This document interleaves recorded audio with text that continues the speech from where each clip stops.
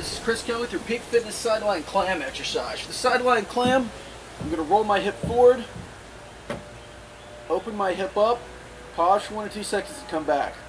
An error, a compensation that you'll see in this exercise is somebody will roll the pelvis back as they're doing this. So what we want to do is make sure as the coach, you're positioning their pelvis forward and they're only moving from this leg. What I also cue the client to do, put their hand on their butt cheek here, press down into this muscle. This is what we're trying to work. You know, if you don't ask them, they might say they're feeling it in the inner thigh or somewhere other than where we're looking for. So again, up, hold, down. Make sure they're feeling it where we want it. You can perform anywhere from 10 to 30 reps, and that's our side-lying clam.